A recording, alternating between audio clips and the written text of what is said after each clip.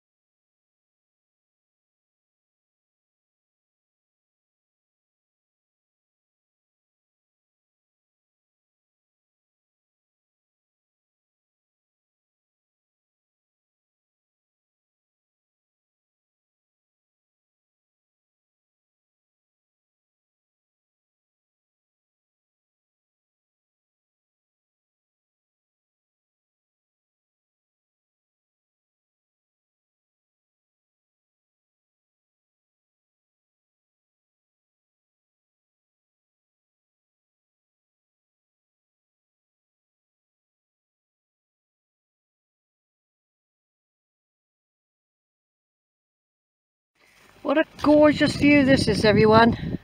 It's this lovely field. I'd love to run all over it. Beautiful views here. This is the best time to come. Beautiful blue sky. Even the thistles look happy. Like I say, this is an old drove. And uh, Um, there's the aerials that we see for miles. And when I'm going through long sheep field later, we'll look back over here. Knowing that not long ago we were passing them. Right. What we do, once we leave the aerials and we start going down the hill, we're going down and we're gradually making what I call the turn. What that means, we will be going back through Velvet Bottom in the direction of Piney Sleights and Cheddar. Laces undone. And I think we can do it. We're committed now. So I'm doing it. These lovely purple flowers, look at them. Running the, we have to run their gauntlet of beauty as we pass by these absolute gorgeous, gorgeous flowers all the way along here.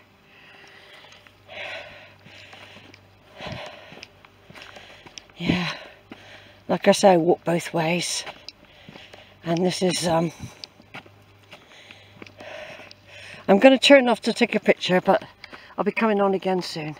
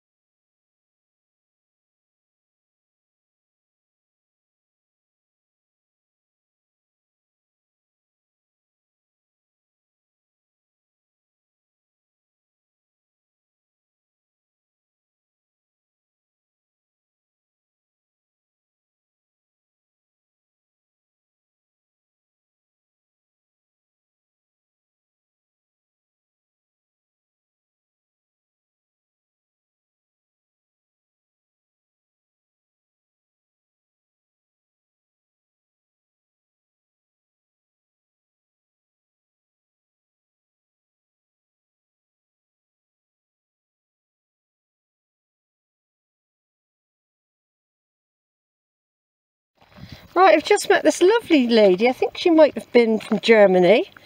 Um, she's riding quite a lady's bike the basket and she's got a hat on. She doesn't really know where she's going, but she's very shocked at the lack of cyclists, proper cyclist roads in England.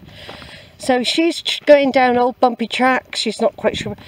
The roads are very dangerous. I am concerned for her safety because she doesn't really know where she's going. She's got her GPS on the phone. She's looking for Blagdon Lake. Those roads around there are treacherous. There's a road down there, really, really dangerous, you know. And uh, I worry for her safety, to be honest. I do worry for her safety.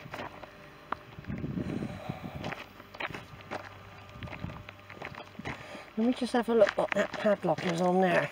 I'm trying to get ideas for padlocks, see? Some people know how to get in them.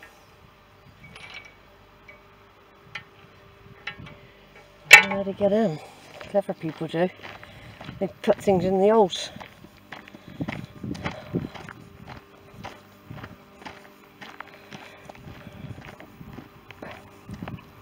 Right then, just a few minutes talking. I've got to be able to socialise when I'm out. Of course, everything you do takes time. I've got to get a move on myself now. This is the afternoon part of the walk. I haven't looked at the clock and I'm not looking at it until I am on the proper turn. When I get to the velvet bottom area, I would check the time. There's no going back then. I'm committed once I'm there. There's no time to go back, if you know what I mean. In fact, that would be harder to go back now um, and do that. It'll be much harder. So anyway, I've met this lovely lady. I do, she's over here on holiday and she's not really sure where she's going. And I don't really know if you can get the, I would imagine that road would link up.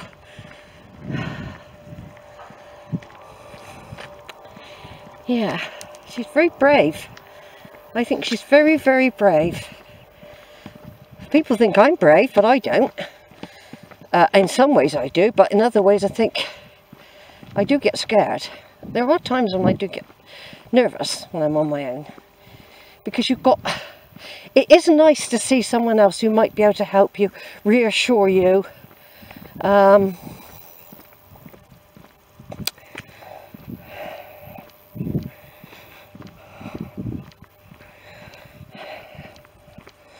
wonder if she was camping at Priddy because I reckon you can get to from over there. I'm not sure. You have to follow the signs. Right, over and out.